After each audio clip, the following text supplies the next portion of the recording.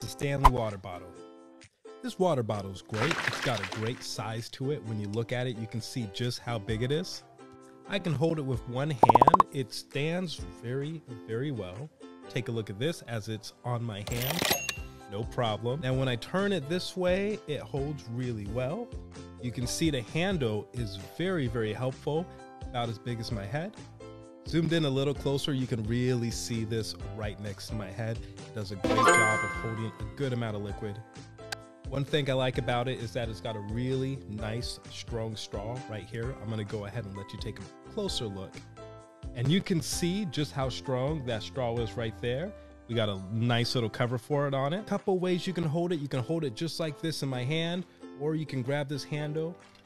Really nice if you want to give it a little bit of a shake. So very, very handy. Does a great job of everything we need out of a water or liquid bottle.